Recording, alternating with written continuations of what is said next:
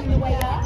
So no matter where you sit, you get to see everything all the way up there. Are you scared yet? She's going to be five on Monday. Oh.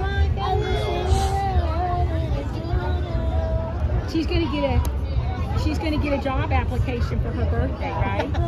You want a job application for your birthday? You don't want to get a job? You got a good voice, girl. Please don't encourage her.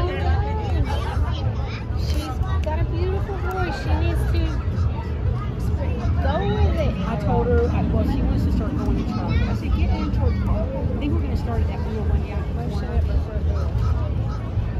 They expecting a package. I didn't think it was coming today.